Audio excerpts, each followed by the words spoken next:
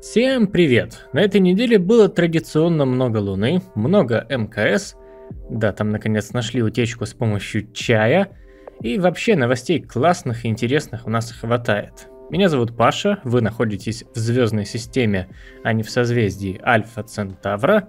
Приступаем!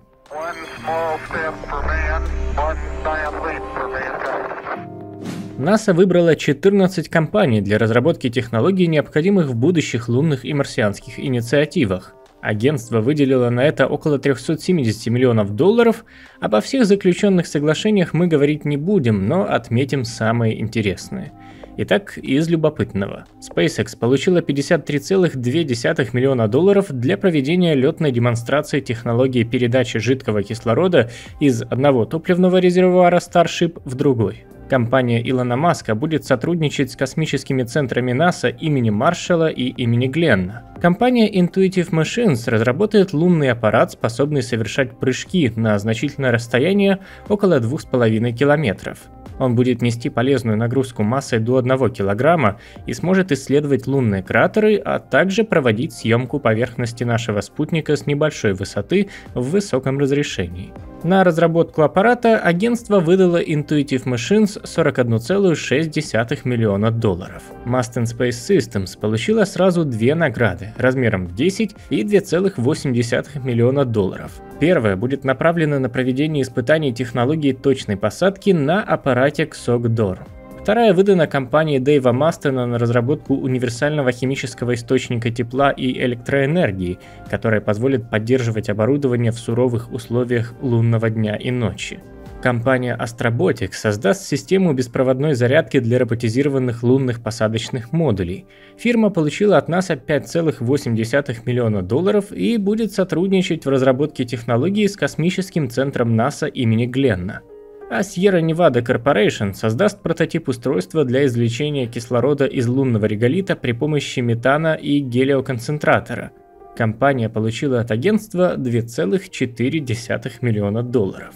Мы очень пристально следим за развитием лунной инициативы США и будем сообщать о дальнейших новостях здесь и на нашем сайте. Планетолог Юго-Западного научно-исследовательского института Алан Штерн совершит полет на космоплане Virgin Galactic. Он войдет в число первой группы исследователей, которые будут проводить финансируемые НАСА научные эксперименты на борту частного суборбитального космического аппарата. Это будет первый полет Алана в космос, но когда он состоится, неизвестно. Штерн станет участником двух экспериментов. Первый заключается в проверке работы камеры низкого уровня освещенности и необходим для того, чтобы понять, насколько удобно проводить астрономические наблюдения в космосе. Второй эксперимент – биомедицинский. Алана оснастят приборами, которые будут непрерывно отслеживать жизненно важные показатели его здоровья в течение всего полета. Результаты обоих экспериментов будут представлены в общем доступе. На этом новости про Virgin Galactic не заканчиваются, потому что компания Ричарда Брэнсона выходит на заключительные этапы подготовки к очередному суборбитальному полету. На борту космоплана Spaceship Two будут присутствовать два пилота и три полезных нагрузки. Перед полетом будет произведена проверка всех ключевых систем корабля, в том числе работы хвостового оперения, шасси и системы реактивного управления. Virgin Galactic также планирует провести тестовую заправку аппарата гелием и закисью азота. Запуск Spaceship Two должен состояться этой осенью с территории космопорта Америка, но конкретная дата компании не уточняется. Это будет первый из двух испытательных полетов перед тем, как на борт космоплана ступит сам основатель Virgin Galactic Ричард Брэнсон. Его суборбитальный туристический рейс должен состояться в первом квартале 2021 года. Европейское космическое агентство заключило соглашение с компанией Thales Alenia Space на создание двух модулей окололунной станции. Они получили названия iHab и Espirit. На начало создания первого уже выделено 36 миллионов евро, при том, что общая сумма разработки iHub составит 327 миллионов. Этот модуль будет представлять собой жилое помещение для экипажа с функциями стыковочного узла. В его создании также будут принимать участие космические агентства других стран. Система жизнеобеспечения будет разработана японским агентством аэрокосмических исследований. Авионику и программное обеспечение предоставит НАСА, а канадское космическое агентство даст доступ к роботизированным компонентам. Запуск iHub планируется на 2026 год. Контракт на разработку модуля Spirit будет заключен чуть позднее в этом году. Он состоит из двух элементов. Первый, HLCS, будет заниматься обеспечением связи между поверхностью Луны и станцией. Его запуск запланирован на 2024 год. Задачей второго элемента, ERM, будет являться дозаправка станции топливом, а его запуск состоится на три года позднее, в 2027. Напоминаю, что такие новостные выпуски выходят на нашем канале при поддержке спонсоров с YouTube и Patreon. Список наших лучших в мире спонсоров отображен на ваших экранах, а пополнить его своим именем можно по ссылкам в закрепленном комментарии. Спонсоры получают ранний доступ к видео и статьям, возможность участвовать в закрытых трансляциях, голосовать за темы следующих выпусков и некоторые другие бонусы. Мы будем очень рады, если вы решите поддержать проект в это непростое для всех время. Все соответствующие ссылки будут в закрепленном комментарии.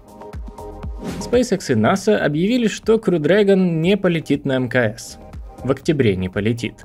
Пока дату старта подвинули на 11 ноября, Причина – странное поведение двигателя Merlin перед самим стартом новенькой Falcon 9 со спутником GPS-3 на борту. Специалисты компании должны установить причину неисправности, чтобы исключить угрозу для полета людей на другой Falcon 9. Тем временем грузовой космический корабль Dragon 2 отправили во Флориду в рамках подготовки к миссии CRS-21. Второй дракон в грузовом варианте сможет доставлять на 50% больше грузов, чем первая версия, автоматически стыковаться с МКС, а еще у него меньший период межполетного обслуживания. В Бока Чика на прототип SN8 установили три двигателя Raptor и готовят его к огневому испытанию. На конусе обтекателя закрепили верхние крылья-плавники. Если огневое испытание пройдет успешно, то далее последует соединение нижней части с верхней и полет на 15 километров. Другие прототипы тоже собирают, про них не забыли. Илон Маск в очередной раз анонсировал улучшение качества сварных швов с эстетической точки зрения. А вот что реально наделало шуму, так это новость о доставке военных грузов в пределах нашей планеты на Starship за час. Конечно, в заголовках были фразы вроде «SpaceX сделают ракету для военных, доставляющую оружие в любую страну за час», или, проще говоря, «Мы все умрем», на самом деле, военное ведомство США пока только рассматривает возможность доставки грузов на Starship и не выделяло SpaceX деньги по этому направлению. Так что сотрудничество пока еще такое совсем чуть-чуть сотрудничество. Ну еще SpaceX сделает 4 спутника для детектирования стартов и отслеживания траектории баллистических и сверхзвуковых ракет за 149 миллионов долларов. Конкурент L3 Harris сделает тоже 4 аналогичных спутника за 193,5 миллионов долларов. Также SpaceX выиграла контракт на 2 миллиона долларов, в рамках которого будет оценена возможность передачи погодных данных для Центра космических и ракетных систем США. Скорее всего, для этого будут использованы активно запускаемые спутники Starlink, и, как вы наверняка помните, военные очень заинтересованы в услуге передачи своих данных через низкоорбитальную спутниковую группировку SpaceX. А еще я забыл сказать, что в Бока Чика открылась вакансия бармена. Может, кому пригодится. Краткая новость. Старт первой индийской пилотируемой миссии переносится из-за ограничений, вызванных пандемией коронавируса. Дело в том, что космические предприятия страны были закрыты в течение четырех месяцев подряд. Из-за этого у Индии возникли как проблемы в разработке систем ракеты-носителя GSLV, так и задержки в поставках оборудования для пилотируемого корабля «Гаганьян». Теперь его запуск с людьми на борту запланирован на конец лета 2022 года. НАСА объявила, что соглашение о правилах освоения Луны под названием Artemis Accords подписало 8 государств. В список вошли США, Австралия, Канада, Япония, Люксембург, Италия, Великобритания и ОАЭ. Соглашение устанавливает стандарты добычи ресурсов на Луне и позволяет странам-участницам владеть этими ресурсами и их использовать. Но в то же время запрещает устанавливать территориальный контроль и суверенитет государств за участками лунной поверхности. Соглашение предполагает также защиту объектов культурного наследия на Луне, места высадок Аполлонов и посадок других космических аппаратов, а также защиту мест совместной работы стран-подписантов. Документ предусматривает создание технических средств, кораблей, станций, шлюзов и стыковочных портов, таким образом, чтобы ими могло пользоваться каждое из подписавших его государств. Ни Китай, ни Российская Федерация участвовать в аккордах Артемиды не захотели. А Дмитрий Рогозин так вообще заявил, что проект окололунной станции является слишком американоцентрированным, поэтому РФ масштабного участия в проекте принимать точно не будет. Рогозин также отметил, что Роскосмос хотел бы, чтобы на новой станции действовали те же правила, что и на Международной космической станции. На эту реплику ответил Джим Брайденстайн, директор НАСА. Дескать, уже существующие соглашения об LOPG предполагают полный перенос протоколов и соглашений, которые сейчас работают для МКС. Посмотрим, что будет дальше. Кстати, об МКС. Космонавтам Роскосмоса наконец удалось найти место утечки атмосферы в модуле «Звезда». Напоминаю, что сама утечка началась еще в 2019 году, и за год объемы уходящей в космос атмосферы увеличились с 270 грамм за сутки до 1,4 килограмм в 5 раз. Анатолий Иванишин применил оригинальный способ диагностики. Он использовал легкие пакетики чая, которые после закрытия модуля начали движение к месту утечки, что было зафиксировано камерами в звезде. Трещина была обнаружена около оборудования широкополосной связи. При помощи скотча и поролона ее удалось локализовать. Теперь специалисты будут думать, как бы получше это отверстие заделать. Вообще, модуля «Звезда» в 2020 очень не везет. Я собрал в отдельный материал на сайте всю хронологию проблем центрального российского модуля, ссылка будет в описании, а здесь кратко перескажу. Например, летом обитатели станции жаловались на холод во время ночевки. 10 октября там сломался туалет, космонавты его отремонтировали, а уже 12 числа экипаж пожаловался на рост температуры внутри модуля. Три дня назад в полночь в сегменте отказала система получения кислорода Электрон ВМ. Пока неизвестно, удалось ли ее починить, но в американском сегменте есть собственная система, поэтому большой опасности для экипажа поломка не представляет. Еще спустя несколько часов все в той же звезде при проведении биотехнологического эксперимента произошло задымление аппаратуры. Задымился блок управления экспериментом «Константа», Испытания сразу прекратили, а позже экипаж доложил, что газоанализатор показал отсутствие продуктов сгорания в атмосфере. Дым же шел из района карты памяти и вскоре прекратился. В ответ специалист Центра управления полетами попросил включить фильтр очистки атмосферы. Короче, невеселые приключения звезды продолжаются. Надеемся, что все проблемы удастся решить и подобных нервных недель у космонавтов будет поменьше. Миссия Европейского космического агентства Бэпи Коломбо совершила первый пролет около Венеры. Всего для достижения цели орбиты Меркурия запущенному в 2018 году зонду потребуется целых 9 гравитационных маневров. Один у Земли, он прошел в апреле этого года, два у Венеры и еще шесть у самой первой от Солнца планеты. Во время пролетов в 10 тысячах километров от поверхности аппарат активировал свои научные приборы и собирал данные. Их анализом ЕКА займется в ближайшее время. Но в следующем году, 10 августа, зонду предоставится и более удобная возможность, ведь он пройдет всего в 550 километрах от Венеры, и уже следующее сближение с Меркурием приблизит Бэпи Коломбо всего до 200 километров от поверхности. С нетерпением будем ждать новой науки, фотографий и анимаций. Тем временем аппарат НАСА Osiris-Rex готовится к забору грунта у астероида Бенну. Операция запланирована уже на 20 октября, и надеюсь, в следующем дайджесте мы сообщим об успешном ее завершении. А пока напоминаю, что у нас на канале есть целый плейлист, посвященный миссии. Очень рекомендую освежить информацию в памяти. На прошлой неделе мы забыли подвести итоги конкурса в дайджесте двухнедельной давности – там комментаторам предлагалось написать остроумный комментарий на тему того, что мы найдем под поверхностью Марса.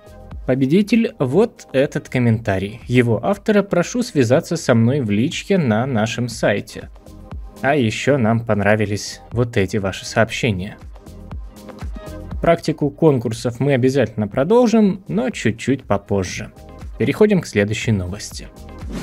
Хорошая новость с полей ракетостроения. Все двигатели будущей европейской ракеты Ариан-6 прошли огневые испытания. Криогенный кислород-водородный маршевый двигатель Vulcane версии 2.1 с напечатанными на 3D принтерами элементами успешно был испытан еще в 2019 году. Следующий тест будет уже непосредственно с остальными системами первой ступени. Двигатель второй ступени, тоже кислород-водородный, Винчи, был испытан еще ранее, в 2018 -м.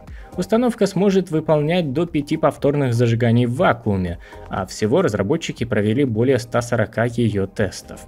Ну и, наконец, твердотопливные ускорители P120C. Их проверка растянулась на три года, однако в январе прошлого года и в начале октября этого были испытаны уже те модели, которые используют в первых полетах новых европейских ракет Vega-C и Ariane 6. Да, твердотопливный ускоритель у них общий, а у Ariane будет две различные конфигурации с двумя и с четырьмя P120. Первый полет как Ariane 6, так и Vega C сейчас запланирован на 2021 год.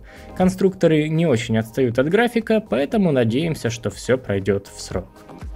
На нашем сайте на этой неделе было действительно что почитать. Начну с главного – заявки на лучший текст месяца или даже осени. Юрий Красильников написал настоящий фантастический рассказ, приправленный юмором и реальными расчетами параметров орбиты. Он о ядерном буксире, с отсылками и интересным форматом бортового журнала. Материал большой, поэтому советуем выделить на его прочтение время. А вот читать обязательно. Зеленый год продолжает писать об основах космоса.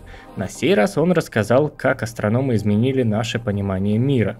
Якив Брыль продолжает серию материалов о космической экспансии. Его размышления коснулись роли ИИ и роботов в нашем движении за пределы околоземной орбиты. Я не со всеми мыслями согласен, но почитать очень даже увлекательно, советую. Текст традиционно на украинском языке, в самом его конце вы найдете кнопку автоматического перевода. Владимир Икс тоже отличился авторским материалом. Речь там идет о проектах Пентагона и развитии орбитальных военных технологий. Ну и, наконец, вишенка на торте. Наш редактор Марк Романов выпустил перевод огромного интервью с астробиологом и планетологом Кевином Хэндом о возможности существования жизни в океанах далеких миров. Само интервью приурочено к выходу книги гостя и увлекательно читается. Очень советую. На канале вышел один ролик. Зато какой? История прогнозирования погоды. Тема действительно интересная. За полвека человечество перешло от прогноза на сегодняшний вечер до погоды на 10 суток вперед. Как именно происходил этот прогресс и что помогало нам лучше узнавать родную планету, смотрите в новом видео по ссылке из описания. Там же найдете ссылки на все упомянутые здесь материалы. Ну и запуски, куда же без них? 11 октября с космодрома Сичан успешно стартовала Чанчжэн 3B. Носитель вывел на геостационарную орбиту пятитонный спутник дистанционного зондирования Земли Гаофэнь-13. Во вторник, 13 октября, в свой 13-й суборбитальный полет отправилась ракета Blue Origin New Shepard. Возвращение ускорителя прошло гладко, а капсула с полезной нагрузкой достигла высоты 107 километров, после чего мягко приземлилась с использованием системы из трех парашютов. Наверняка вам интересно, но о начале суборбитальных полетов с туристами на борту компания Джеффа Безоса никакой определенной информации до сих пор не предоставила. На следующий день, 14 октября, с космодрома Байконур на ракете «Союз-2-1А» к МКС отправился российский космический корабль «Союз» с тремя членами экипажа на борту – космонавтами Роскосмоса Сергеем Рыжиковым и Сергеем Куть-Сверчковым, а также астронавткой НАСА Кейтлин Рубинс, для которой этот старт стал своего рода подарком на день рождения. Для стыковки со станцией впервые была использована сверхбыстрая двухвитковая схема сближения, которая позволила кораблю достичь МКС всего за 3 часа 3 минуты. Стыковка выполнялась в автоматическом режиме под контролем специалистов Центра управления полетами и российских членов экипажей корабля и станции. Все прошло максимально успешно, поэтому такую схему планируют применять и в будущих миссиях. На предстоящей неделе нас могут ждать два запуска Старлинков на Falcon 9, миссии под номерами 13 и 14, запуск Delta 4 Heavy с миссией Enroll 44 и, быть может, запуск Rocket Lab Electron. Мониторьте наши социальные сети, чтобы не пропустить анонсы трансляций и не забывайте пользоваться расписанием на сайте. Я желаю вам хорошей недели, крепкого здоровья и отсутствия осенней депрессии. До встречи в ближайшее время.